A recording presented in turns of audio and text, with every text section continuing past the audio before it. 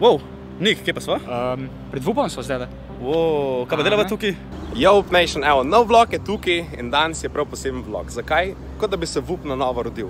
Imel sem eno skupino mladih, nadobudnih dijakov iz medijske, s katerimi smo ustvarili čisto novo podobo VUP-a v notranjosti. Iščeva žigata pa je. Um, Dožiga? tako da je. Žiga Šramon, un dizajner, un vup tip. Danes prideta k meni Nik in Maj, da vam pokažemo čisto zares, kaj se je dogajalo, tako da sem še počakamo, kje sta. Pa bo... Wow. A, ok, evo ji! A bomo s tvojo, a bomo s tvojo kamero snemali? Ja, mi se primeri to za tvojim... Ja, Lejka ima, lejka ima. Ja, ja dobro, kva. Mi VUP-om vse s telefonom snemamo. Drugače, a ti si res žiga, si Super Mario. Dobro, malo sem se obril na... Man close up. O, ok. Mal sem se obril, ne, ne si norci delati, pač eh, poletje, vroče mi je bilo v bradi. Brke počasneje rastejo, se boste videli, ko boste odrasli, brke počasneje rastejo. V glavnem, evo, da bomo preklopili zdaj. Bomo mi preklopili zdaj letlele, bomo preklopili v, v kamero. Evo, tako, evo. Wow, wow. Tako. Wow, zdaj sem pa kar naenkrat izglaven celega vupa. Jesa. V glavnem, evo, tole sta Nik in Maj. Lep pozdrav. V glavnem, jaz sem naravil pomoč pri ilustraciji, vse skupaj pa smo integrirali v mojo grafiko in opremili park. Tako da, ne vem, gremo najprej not, pa da malo povemo, kako je se to skupaj potekalo. Ajde, Cool.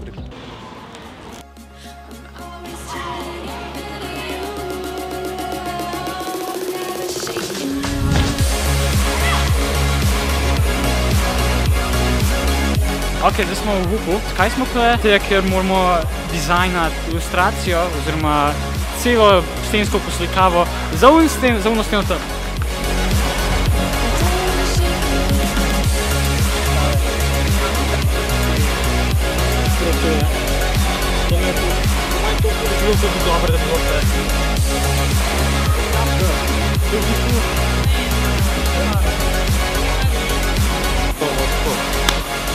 Ja, recimo. Najprej mi povejte, kako ste se počutili, ko sem vas sploh kontaktiral. Ker si ti mene kontaktiral, sploh nisi rekel, zakaj se gre. Ti si samo rekel, da vas se dobiti. In jaz sem se takrat dobila, bila šla sva v centralno postajo, bil še cene pevc, randomni tam. Um, Cene, out to Ja, cene. šalta tudi cene, jaz sem bil tako, sem ok. In potem se žiga tam nekaj pogovarjal, dizajn tam, pa ta dizajn tja. On reče, da bo tam na eno ilustracijo in pa pokaže mojo ilustracijo. No, tukaj sem pa razmišljal, da bi dal vašo ilustracijo gor. In sem, sem tako, če, če, če, če, če, če, kaj? Tako da, um, huge projekt, uh, poslikava parka, ki v bistvu še ni končana. Eh, Lahko rečemo, da smo na 30%, plus še par faz, potem enih hudih efektov, od svetlobnih efektov in tako naprej, kot jih še niste videli. Zdaj pa jaz predlagam, da gremo čist iz kontrasmeri, pa glavno steno pustimo za na konec. Okay, Ker v bistvu smo polepili štiri stvari v prvi fazi. Glavno steno, ki je tako 20 metrska, potem uh, nad pencem smo dali naš napis in the air, zabave zraku. Wup, wup. Potem je Whoop Nation dobil svoj napis na steno, hkrati pa smo naredili trapez še veliko bolj zanimiv. Tako da gremo sprobati vse skupaj grafike in kaj lahko z njih nastane. Okay. Okay. A boš do ti roko odspet ali jaz tam naj? Ja, ne vem, da je to, da je to, Deva skrb, deva skrb. kjer bo pravo. Daj. Oh.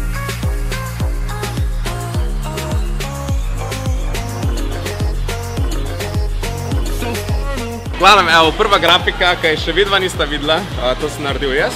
Uh, in je namenjena za to, da, vo- uh, da spust s trapezom zgleda še bolj kulski. Postavite se tukaj nekje, v tem območju najboljše tu. Sem že testiral, telefon date visoko in potem, ko se vaš prijatelj spustil iz trapeza, imate od zadaj vup vesolje in boste poleteli v vesolje. In če boste prav posneli, se dosti dobro potrudili, bi to mogli izgledati nekako takole.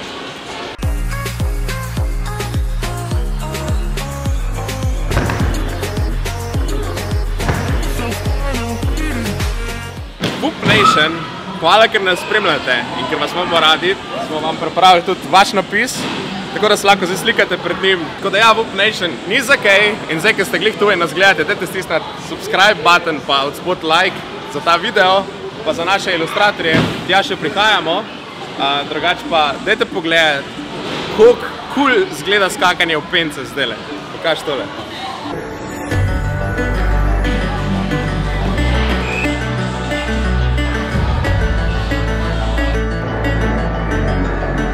Trikotniki že od nekdaj zaznamujejo buk. To je neka hitro gibanje, neko gibanje navzgor, sem tja, počes, pa naše žive barve. In zato sem tudi v napis Fun is in the air, se pravi zabava v zraku, skril trikotnike. Če ti trikotniki niso všeč, pa jih moraš videti za okroglimi linijami. Zato, ker by the way pripravljamo še nekaj novega in to je nova spletna stran. A ja, pa res. Tam pride pa čist nova grafična podoba Vupa zraven, ker sem končno po dveh letih ugotovil, kaj paše zraven trikotnikom. In uh, tlele vam damo par namigov.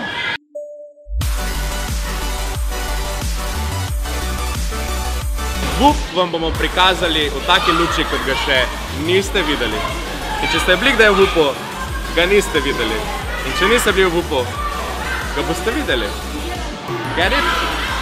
A povežite malo stvari. Drugače pa če pobližaš na uno steno, tam ne dal. Ja, evo. Uh, lino palačinke imamo še vedno v baru.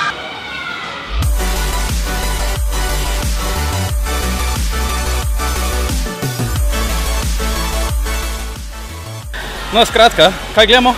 Gledamo glavno 20-metrsko steno, v končno smo prišli do tiste glavne točke, ki smo jo kreirali. Kar nekaj časa, v bistvu vse skupaj poslikave so rabile ene tri tedne, da smo jih naredili.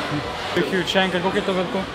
To je 180 kvadratnih metrov stene polepljenih z nalepko. To sem se zaslužil ful velik. To je ogromna, ogromna stena. Nagradna igra je sledeča.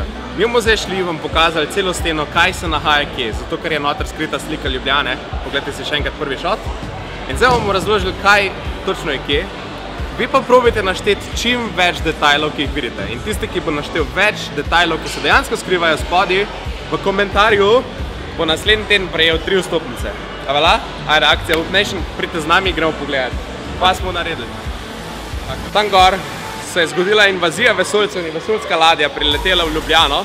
Če pogledate celo steno, se pa tukaj skriva Ljubljana. Če te pogledate bolj podrobno, je tukaj spodaj tromostov, je na Prešernovem trgu je trampolin, kjer skačejo ljudje. Reka Ljubljanica je poplavljena z penicami, pa imamo en velik stolp, ki se iz Zepelina ena punca s trapezom spušča v njega. Uh, drugače pa imate celo Ljubljano in pa najpomembnejše grad. In če dobro pogledate, se v gradu v zastavi skriva napis Vup Nation. Uh, drugače, evo, to je Ljubljana. Uh, dali smo tudi torte noter, ne, praznujemo rojstne dneve, nogavičke ležijo vse po sto. Uh, Prešern ga deba, by the way, pokaži Prešerna. O ja, Kje? Ja. shout out to Prešern. Za debanje, oh. Na, vse vsod so skriti napisi, tam le piše VUP, zabave v zraku, bla bla bla bla bla. Da pa bo vseeno malce lažje, vam pa za par sekund tukaj prilagamo skico ilustracije, da boste lažje našli vse podrobnosti. To je to. Evo, Tukaj sem non stavo, da te intervjujem o tvoji izdelavi, oziroma procesu izdelave te velike skice, oziroma skice, ki se je polno natisnila na steno. Na zelo veliko, ja. Še skar ne moram verjeti. Zdaj me, to je tvoja ekipa, ki je to delala. Um, v bistvu začeli smo z lih tako prepoznavnim imenom Inkwork. Ja, na tej skici smo pa delali jaz, Eva, Mark, Nal in Staša. Koliko namekno ste to naredili, preden je šlo to sem?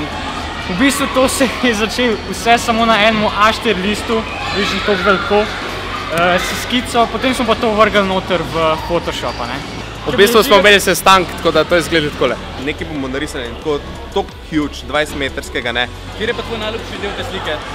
Najljubši del, moram reči, Ljubljanski grad, ker je res tako zelo prav padeti v uč. Pač ne moreš ga pati, pa pa tam kaj na modrem še un stol. Kjer je pa tvoj najljubši del slike? Jaz pravim, da je reka. Jaz spomnim se, ko so oni to skicirali, da sem rekel, da bi lahko bilo čim bolj povezan z Look Nation. Torej vse njihove stvari, trampolini na mesto navadnih streh, ali tega sicer niso uporabljali, bedniki, ampak ok, so pa reko uporabljali s peno, kar je dobra ideja, bi še naredil, da to obstaja. Nekje je ena reka, polna pene. Vup ideje. To je treba narediti. V glavnem, evo VUP Nation, to je to za ta vlog. Pridite v VUP, pogledajte si stene, napišite spodaj mnenje, kako se vam zdi. Se vam povem, to je samo še začetek.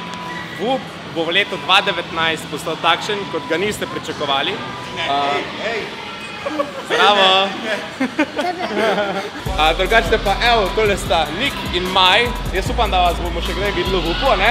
Jaz tudi? Jaz tudi. To je pa to, ona dva bosta pa tudi ta vlog zmontirala, tako da shout out še dodatni za njo. Drugače pa ne pozabite se, subscribe, poletne počitnice so tukaj, počitniško varstvo bo tukaj, spremljite naše vloge, da boste videli, kaj zamujate. Zato, ker ko boste videli, kaj zamujate, se boste še vedno lahko prijavili, ker bojo letos poletne počitnice celo poletje. 9 tednov, 6, 9 tednov, popolne norije in Boop Nation nas čaka. Boop Akademija. Za vas smo pripravili tudi zelo, zelo poceni Summer Pass, to da boste cel mesec vsak dan lahko skakali za samo 29 evrov. Malce si preračunajte, ful poceni, samo zato, da se bomo fajn imeli Boopu, pridite k nam, poletje bo vroče, tle je ful dobra klima, uh, pa ne pozabite na nagradno igro. Najdete čim več podrobnosti iz velikega Boop napisa in to je to za ta teden, se vidimo v Boop Nation.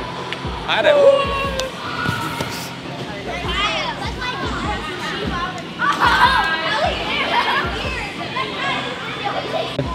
V glavnem, ful je bilo fajn delati z eh, mladimi, nadobudnimi ilustratorji in grafiki. Uh, tudi meni kot grafiku je to vedno bilo, vedno sem željo nek, nekoga vzeti pod mentorstvo ali pa mu svetovati ali pa ga usmerjati. Pa tako. tako da mislim, da smo ena kul cool družščina radili, prijateljstvo, nova, nova prijateljstva so se spletla. Uh, tako da res so upravili dobro delo. Uh, jaz sem prav ponosen na celotni izdelek, ki smo ga naredili. Uh, če vam je pa všeč, boste pa itak sami povedali, tako da boste lajkali spodaj. A še kaj dodal? Ja, ej, hvala Žiga za to šanso, ker to je bilo najboljše sodelovanje do zdaj. Pač res, po moje, res že dolg časa nisem imel tako sodelovanje in dolg časa ga tudi ne bom imel. Um, to je pa to, ja, kot je Žiga rekel, lajkite dol oziroma komentirajte, kjer vam je najboljši del.